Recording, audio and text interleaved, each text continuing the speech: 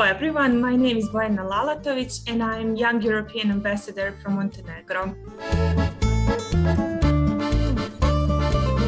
It was uh, definitely the first event that we organized because I was in charge of uh, uh, managing the whole organizational processes around the event, and it was opportunity for me to uh, delegate maybe some of the roles to my peers, and we really managed to perform all the tasks uh, around the organization of the event uh, very well. And I was so proud of my team because it wasn't just uh, uh me and uh, it wasn't just that I'm uh, proud of myself, but I was proud of all other youngsters who were involved in the organization of this event that turned out as a great success. I also felt that we are already Europeans because it's not a matter of um, status, it's a matter of values